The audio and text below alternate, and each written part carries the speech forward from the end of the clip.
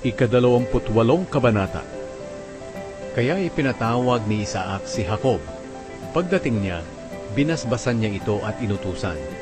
Huwag kang mag-aasawa ng taga-kanaan. Maghanda ka at pumunta sa Padan Aram, doon sa lolo mong si Betuel na ama ng iyong ina.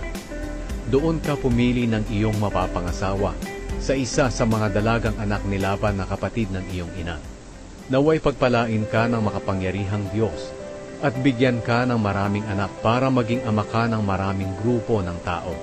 Naway ibigay din sa iyo at sa mga lahi mo ang pagpapalang ibinigay niya kay Abraham para maging iyo ang lupaing ito na iyong tinitirhan ngayon bilang isang dayuhan.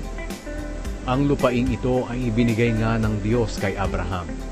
Agad na pinapunta ni Isaac si Jacob sa Padan Aram, sa lugar ni Laban na anak ni Betuel na Arameo. Si Laban ay kapatid ni Rebeka, na ina ni na Jacob at Isaw. Muling nag-asawa si Esau. Nalaman ni Isaw na binasbasan ni Isaac si Jacob at pinapunta sa Padan Aram para roon maghanap ng mapapangasawa. Nalaman din niya na binasbasan ni Isaac si Jacob. Inutusan niya ito na huwag mag-asawa ng taga-kanaan. At nalaman din niyang sumunod si Jacob sa magulang nila at pumunta sa Padan Aram.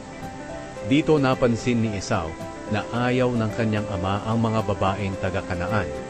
Kaya pumunta siya sa tiyuhin niyang si Ishmael na anak ni Abraham kay Hagar at napangasawa si Mahalat na kapatid ni Nebayot at anak ni Ishmael bukod pa sa dalawang naging asawa niya. Nanaginip si Jacob sa Bethel. Umalis si Jacob sa Beersheba at lumakad papuntang Haran. Nang lumubog na ang araw, nakarating siya sa isang lugar at doon na natili ng gabing iyon. Kumuha siya ng isang bato at ginawa niyang unan sa pagtulog niya. Ngayon na naginip siya na may isang hagdan na nakatayo sa lupa na abot hanggang langit. Nakita niya ang mga anghel ng Diyos na umaakyat at bumababa sa hagdan. Nakita rin niya ang Panginoon na nakatayo sa itaas ng hagdan at sinabi sa kanya, Ako ang Panginoon, ang Diyos ni Abraham at ni Isaac. Ibibigay ko sa iyo at sa mga lahi mo ang lupaing ito na iyong hinihigaan. Ang mga lahi mo ay magiging kasindami ng alikabok sa lupa.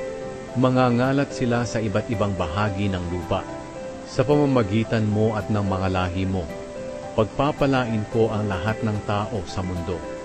Alalahanin mo palagi na kasama mo ako at iingatan kita kahit saan ka pumunta.